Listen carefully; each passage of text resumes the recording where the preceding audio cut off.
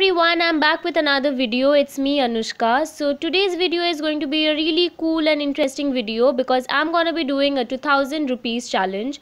A lot of YouTubers have been doing this kind of video but I have seen that they usually do it in places like Sarojini Nagar or Colaba Causeway. So I decided to do it in New Market Kolkata.